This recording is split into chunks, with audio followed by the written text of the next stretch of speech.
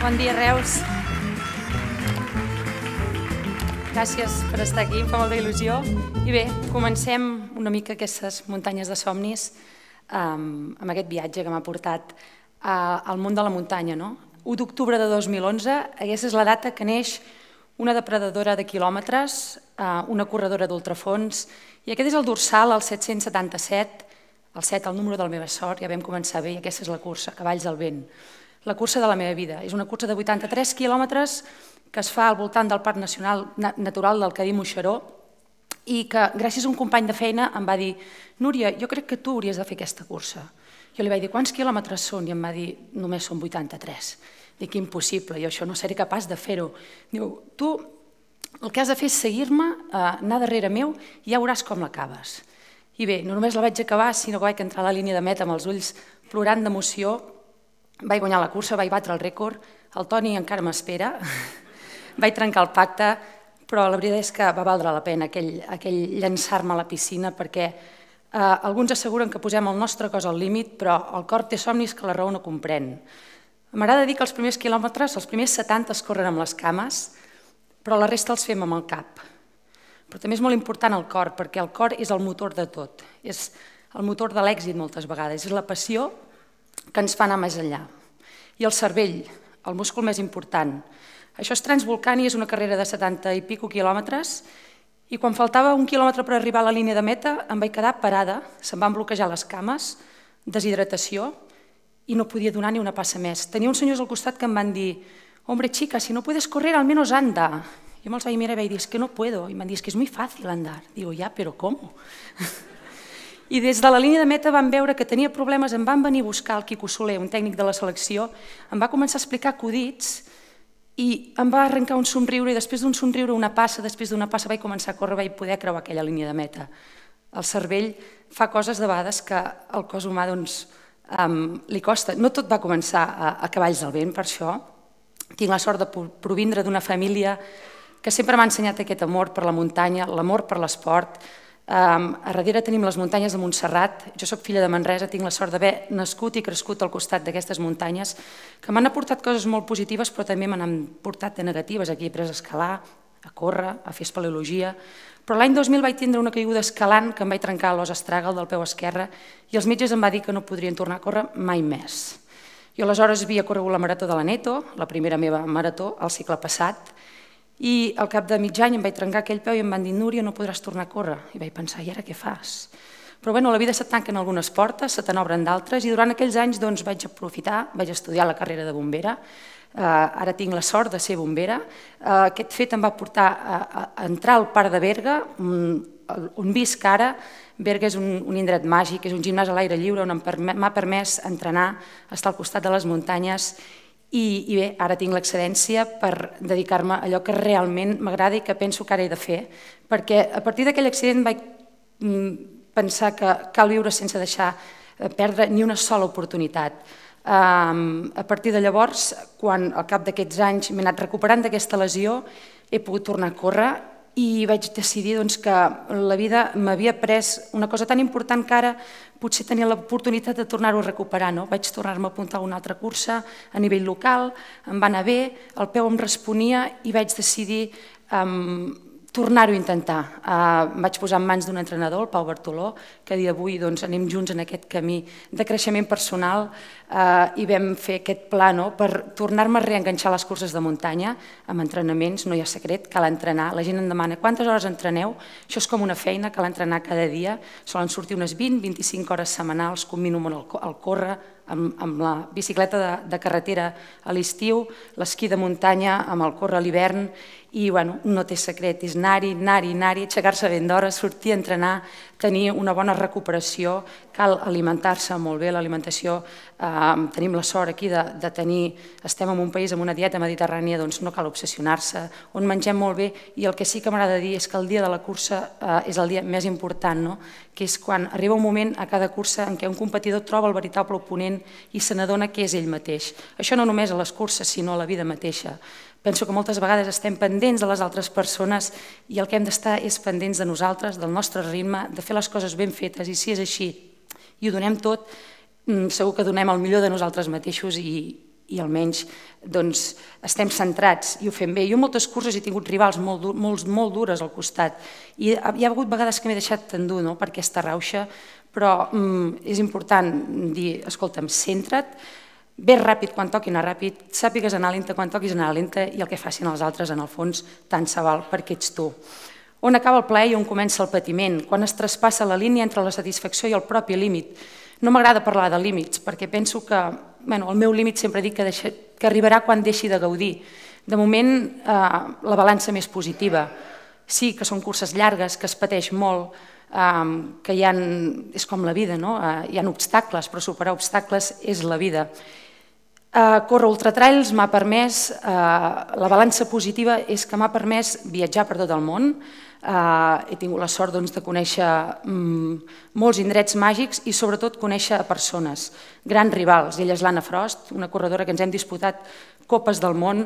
Ella és l'Emily i he après que l'amistat en aquest esport està per sobre de l'èxit. Encara és un esport, penso, que és net, on som amics, som rivals, però mm, això és d'agrair, on el companyerisme està present en cada cursa.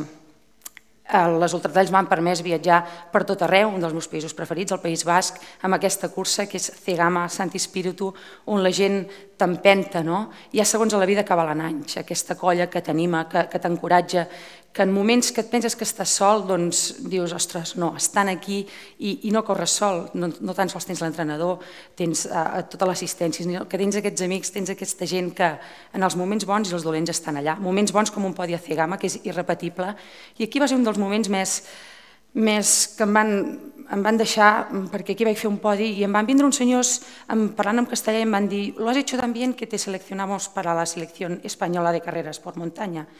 I jo em vaig quedar així molt, molt callada i em van dir «Te has emocionado, eh, Núria?» I vaig pensar, home, sí, que et convoqui a la selecció espanyola està bé perquè estàs fent les coses ben fetes. Dic, però bueno, deixa'm-ho pensar. Vaig tardar uns dies a, a prendre la decisió, mm, jo tinc uns sentiments molt arrelats, però vaig pensar que valia la pena perquè era l'única manera de, de córrer aquells campionats del món que es feien a la Ribagorça, i vaig, vaig dir, som-hi, llancem-nos a la piscina i em veieu aquí amb la samarreta de la Roja al costat de, de grans corredores, ben contenta.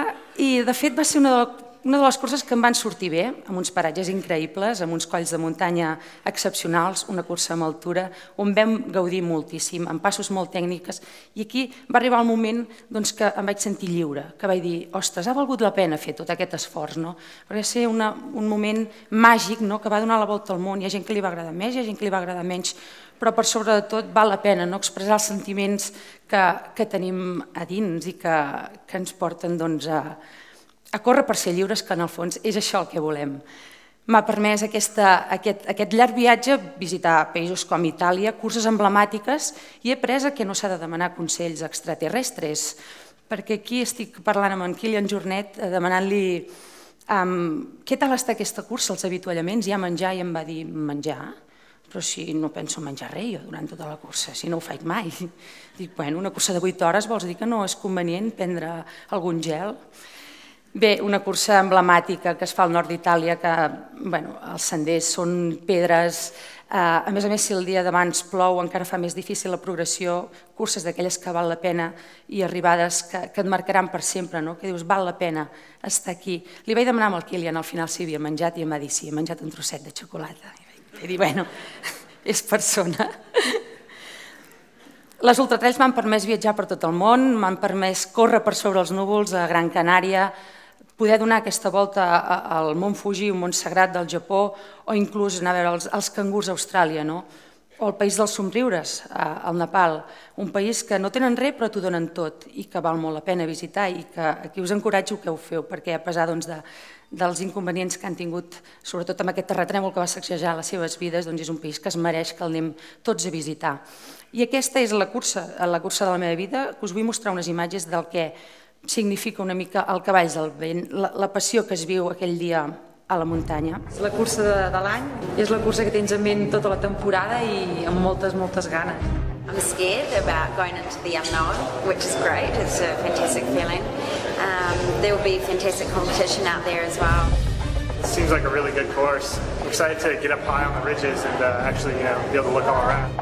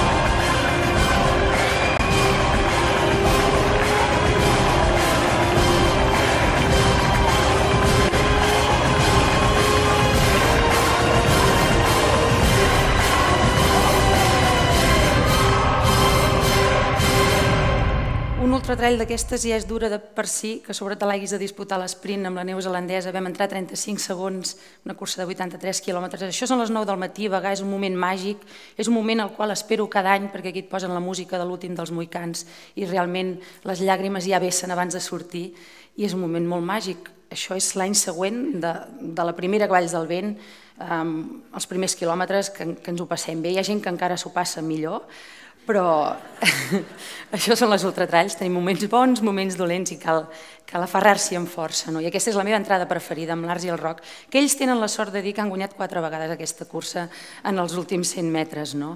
Eh, quan siguin grans ja, ja, ja ho veuran, això. I és la meva mare que sempre que abans de sortir em diu, sobretot Núria, vés al tanto i no corris, no corris, no et faiguis mal.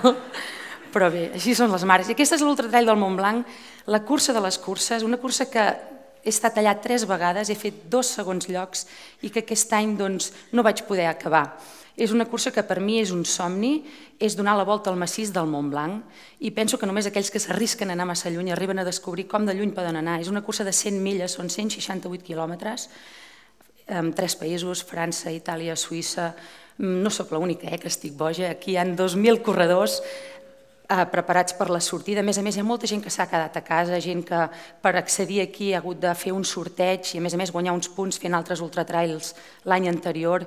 I bé, és una cursa doncs, que passem tota una nit, són més de 24 hores, inclús hi ha gent que la fa en dos dies, on la nit és un dels moments més difícils, més màgics, on estàs tu, la llum del frontal, i t'has de buscar distraccions, música, pensar en coses positives, això és a partir del quilòmetre 120, on et fa mal i absolutament tot el cos, però penso que la diferència entre guanyar o no guanyar i perdre és sovint no abandonar.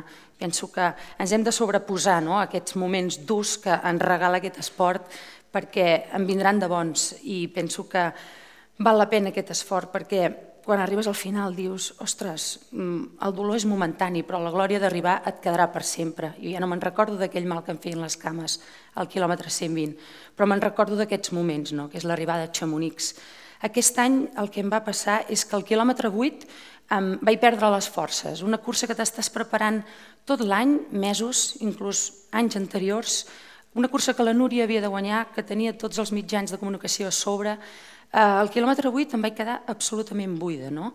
I va ser doncs, que aquell dia no tocava, aquell dia no estava corrent per ser lliure, aquell dia hi havia satèl·lits al voltant doncs, que no em permetien fer allò que m'agradava, que és estar a la muntanya amb els meus um, feelings i, i córrer per gaudir i vaig decidir que no era el moment. Però em vaig aprendre molt d'aquella desfeta. Ara estic orgullosa d'aquell quilòmetre 8 perquè penso que de les derrotes se n'aprèn molt més que de les victòries, perquè vaig analitzar el que va passar i quan menys t'ho esperes les coses bones succeeixen.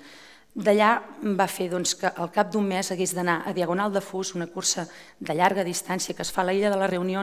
Allà era l'última oportunitat que tenia per guanyar aquell tercer campionat del món i vaig aferrar.